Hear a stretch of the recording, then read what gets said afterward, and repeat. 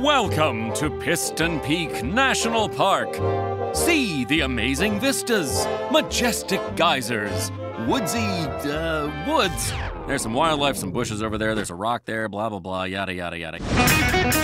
All aircraft, we've got a report of a wildfire. Come on, boys, let's load up. Lightning storm came through.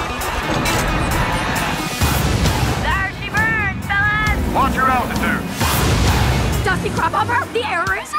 Crophopper! You're smaller than I thought, but that's okay. Um, thanks. You came here to become a firefighter. Bullseye! Look, spilling mud on people makes for sad campers. Big party at my lodge makes for happy campers. You understand? You're upwardly mobile, right? Sure. Of course you are. You're a plane. I will never understand why you want to jump out of a perfectly good airplane. We're not. We're jumping out of you. We got a situation. The fire jumped the line. This is a big one. I'm on it. Had to get my glasses.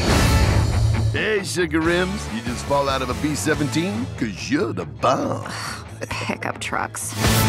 Rip off his landing gear. What? Give him a go.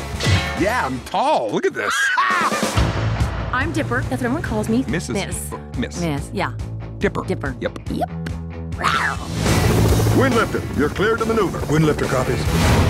Mr. Mayday. Is that guy writing down everything I say? Yes. So he just wrote that down? Yes. And that? Yes. And that? Yes. Oh, Chevy. I can do this. Copy that? Welcome to the Fusel Lodge. Wow, look at that ice sculpture. This could be our room if we were little tiny pieces of ice. That fire is about four hours from the lodge. I see him. I've got him. We must evacuate. Don't panic. She left me for a hybrid. I didn't even hear him coming. It's a mysterious mystery. How's the park's wildlife population? Well, if you come to the party night, there'll be plenty of party animals. I like watching you sleep.